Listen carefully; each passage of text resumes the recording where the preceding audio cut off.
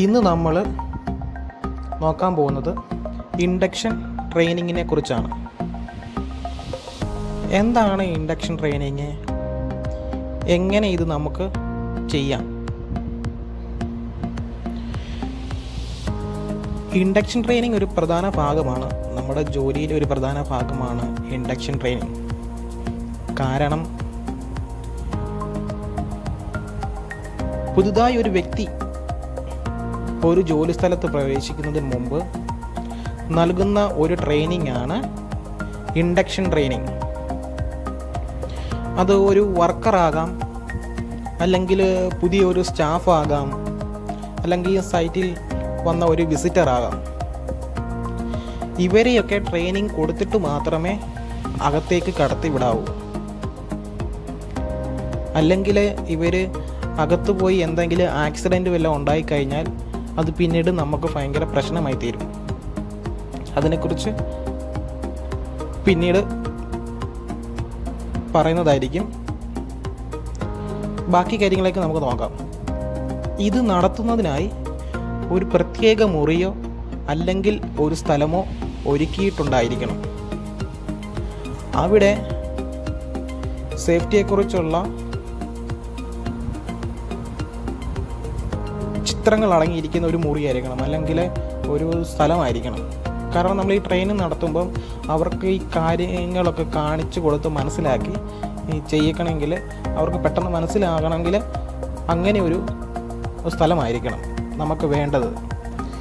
ഇതിൽ ഉൾക്കൊള്ളുന്ന കാര്യങ്ങൾ അല്ലെങ്കിൽ ഇത് എങ്ങനെ നടത്താമെന്നാണ് ഇവിടെ പറയുവാൻ പോകുന്നത്. ഇൻഡക്ഷൻ നടത്തുന്നത് ഒരു സേഫ്റ്റി ഓഫീസർ ആയിരിക്കണം ഇതിൽ ആദ്യം നമ്മളെ അവർക്ക് പരിചയപ്പെടുത്തി കൊടുക്കണം. ഞാൻ ഇവിടുത്തെ സേഫ്റ്റി ഓഫീസറാണ് എന്റെ പേര് ഇതാണ് എന്ന് അവരെ പറഞ്ഞ് മനസ്സിലാക്കി കൊടുക്കണം.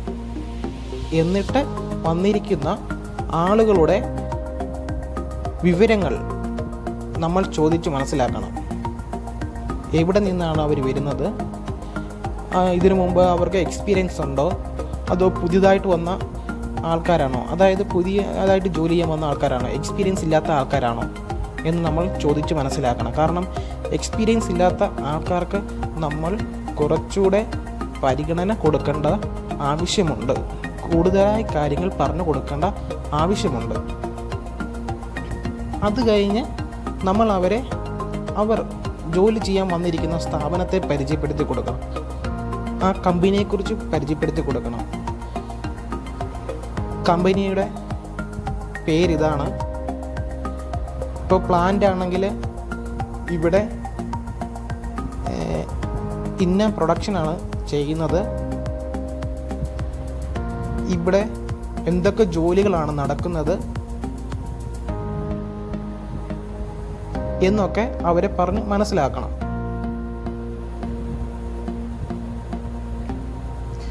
എന്നിട്ട് അവർ ജോലി ചെയ്യുന്ന ലൊക്കേഷൻ അവരെ കാണിച്ചു കൊടുക്കണം. അവർക്ക് പറഞ്ഞ് മനസ്സിലാക്കി കൊടുക്കണം.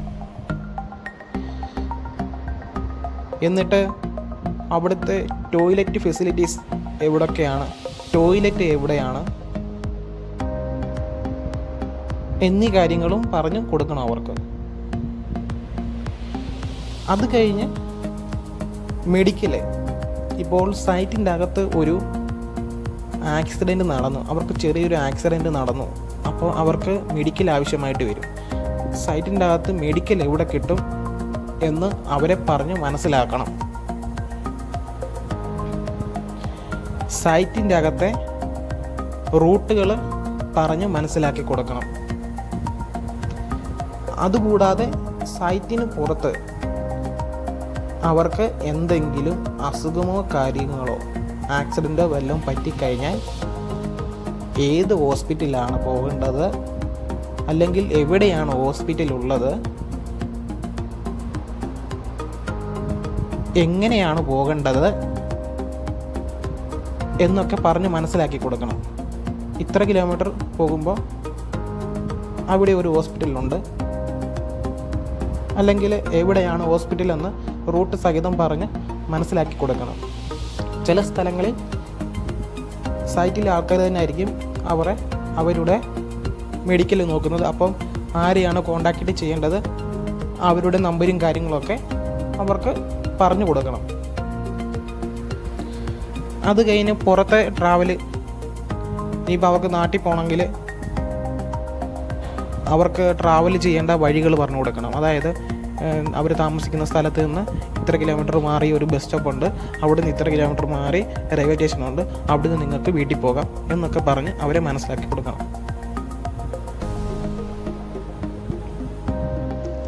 ഇനി സൈറ്റിൽ നിൽക്കുന്ന ടൈമിൽ എന്തെങ്കിലും എമർജൻസി സിറ്റുവേഷൻ ഉണ്ടായാൽ എങ്ങനെ അവർക്ക് അറിയുവാൻ സാധിക്കും? അത് പറഞ്ഞ് മനസ്സിലാക്കി കൊടുക്കണം. അവിടെ ഉണ്ടാകാൻ സാധ്യതയുള്ള എമർജൻസി സിറ്റുവേഷൻ എന്തൊക്കെയാണ്? അവിടെ ഉണ്ടാകാൻ സാധ്യതയുള്ള എമർജൻസികൾ എന്തൊക്കെയാണ്? എങ്ങനെ അവിടെ നിന്ന് രക്ഷപ്പെടാൻ സാധിക്കും? അല്ലെങ്കിൽ അവരുടെ മുൻപിൽ എന്തെങ്കിലും ഒരു എമർജൻസി വന്നു കഴിഞ്ഞാൽ അത് എങ്ങനെ റിപ്പോർട്ട് ചെയ്യാൻ പറ്റും? ഇപ്പോൾ ഫോൺ ഉപയോഗിക്കുന്ന സ്ഥലമാണെങ്കിൽ അവർക്ക് ഫോൺ നമ്പർ കൊടുക്കാം. എമർജൻസി ഫോൺ നമ്പർ കൊടുക്കാം. ഇതൊക്കെ അവരെ പറഞ്ഞ് മനസ്സിലാക്കി കൊടുക്കണം. ചില സ്ഥലങ്ങളിൽ വിസിറ്റേഴ്സിന് ഫോൺ അനുവദിക്കുന്നതായിരിക്കും.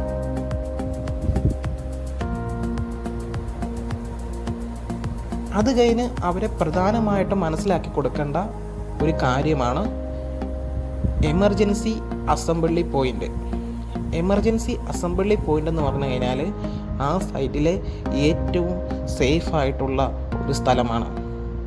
അവിടെ എന്തെങ്കിലും എമർജൻസി ഉണ്ടായിക്കഴിഞ്ഞാൽ എല്ലാവരും ആ ഒരു പോയിന്റിൽ വന്ന് കൂടണം.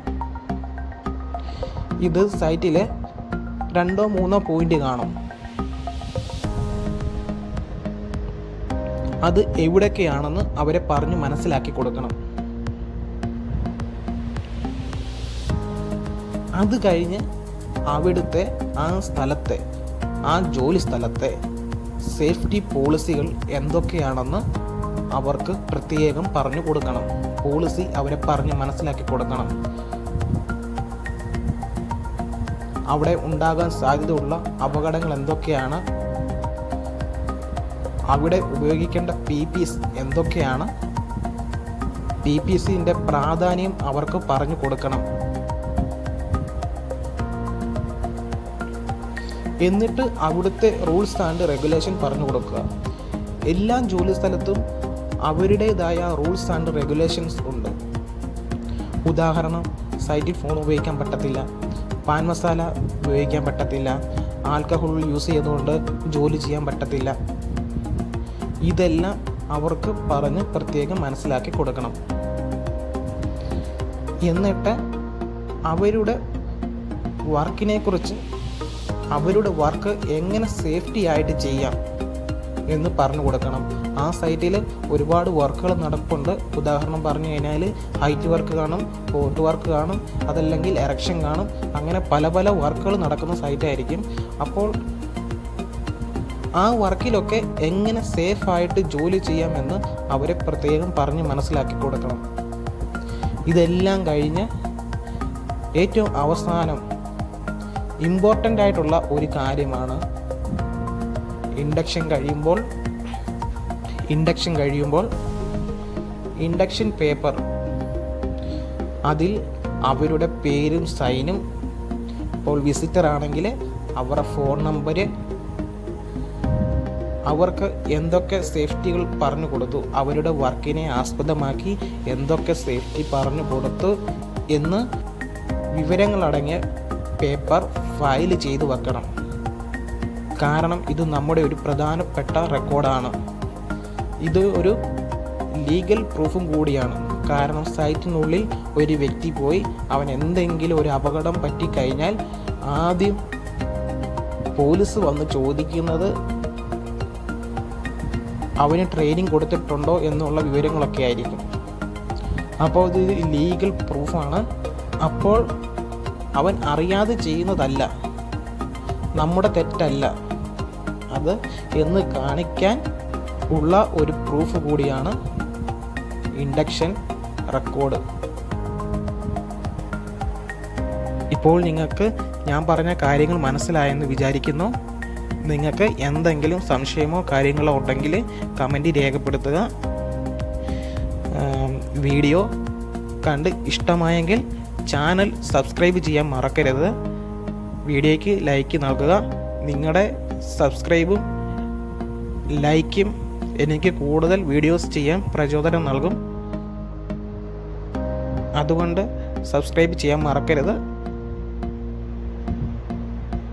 Okay thanks